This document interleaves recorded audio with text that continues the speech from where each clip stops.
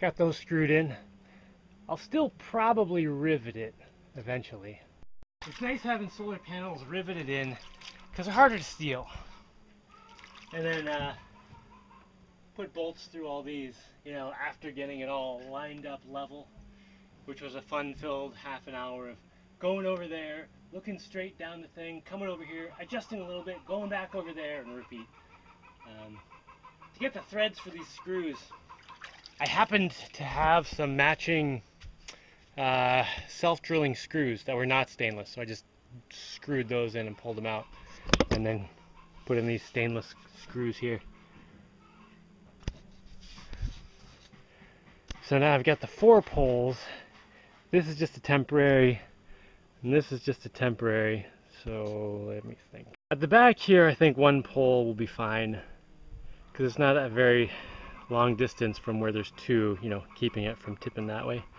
Up at the front here though, it's a little further, so I'm thinking I want to put a pole on this side and on that side. Basically the same as this. I'm out of that stainless stuff. So let me see what else is around here. I think I'll use one of these for the rear holder because I never have uses for bent pipes, but this can totally be bent and it's okay. Alright, the front two, hmm, let's see. Okay, I think I got it. This is the length I need here. These are both too short. They also don't match.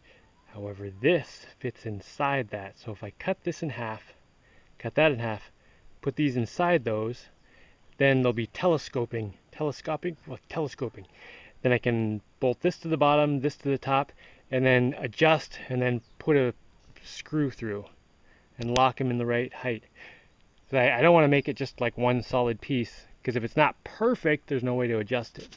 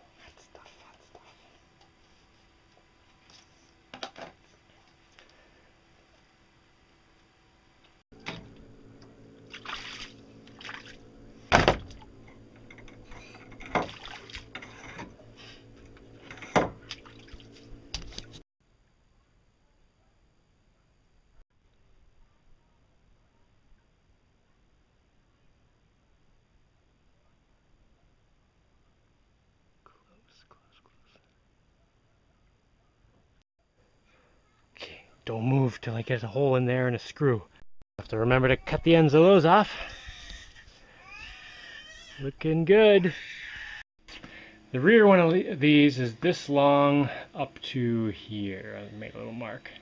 This one can be a fixed height because it's going in a spot that's kind of like that. So I can just move it into the skinnier or the fatter part and just find the place where it fits. This pipe was a little brittle for bending the ends, so uh, I wrapped a piece of sheet around there that is very flexible and made the top. And then the bottom is just a piece that I uh, cut in there and then folded up inside and bolted through. Sweet. Totally all attached.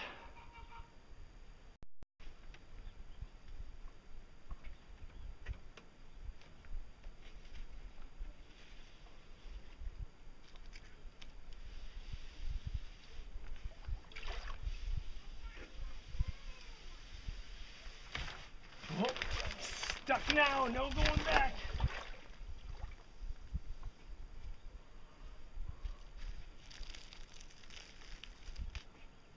This one's not stuck down yet. But now I need to figure out how to arrange these connectors so they don't interfere with the other solar panels.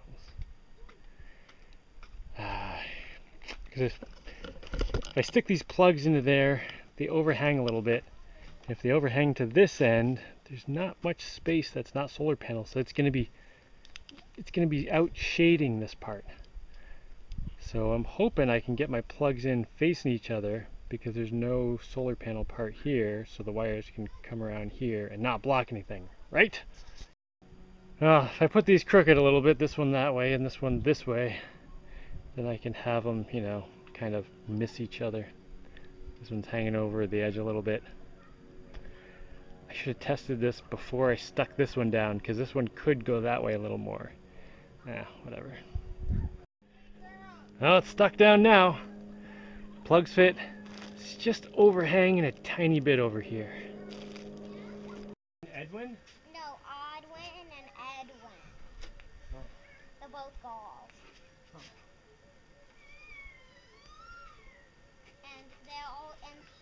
They're arguing because do you wanna know why? I'm overhanging a little bit on the end. Well, That's okay though. What's that? It's because do you wanna know why they're arguing? Yeah. Because Odwin wants to go to the park, but Edwin wants to go to the beach. Why don't they just go to a beach with a park?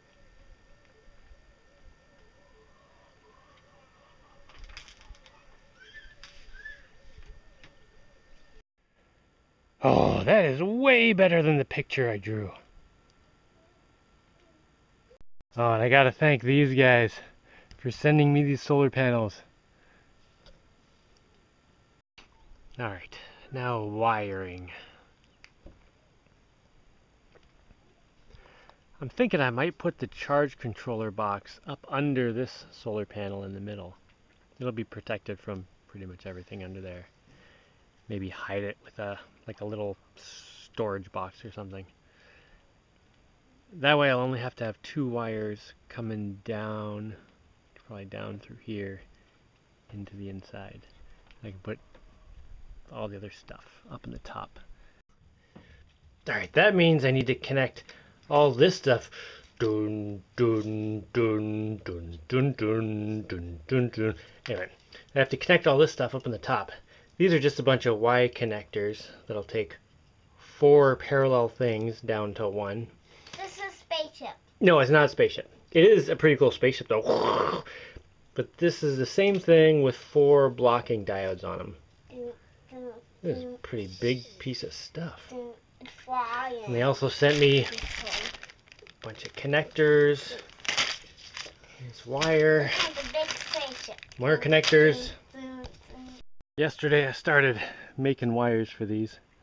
And I got two here, and I made them short, thinking I can put one of the Y connectors here so I only have two wires going that way instead of four. Just want to look at it before I keep going. Ah, I think that's good, good idea. All right.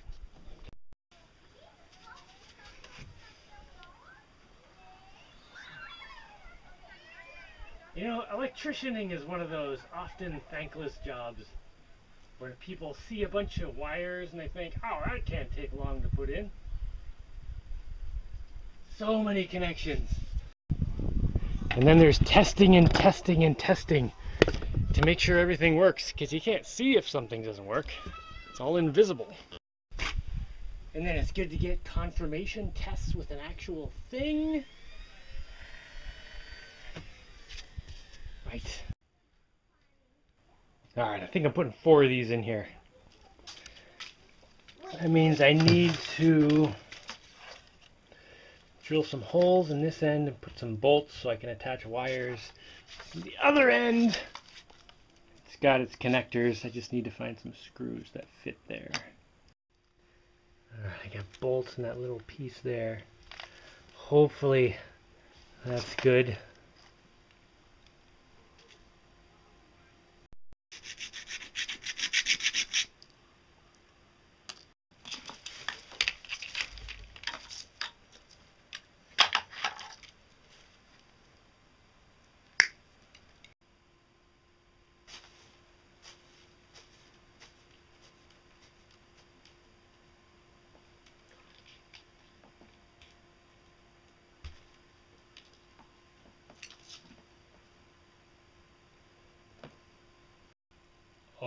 oops. I think I just skipped some steps.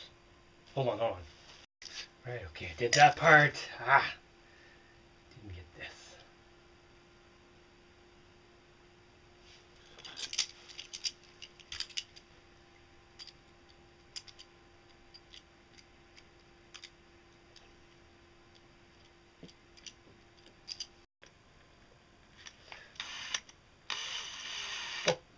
Okay. Oh, get over there.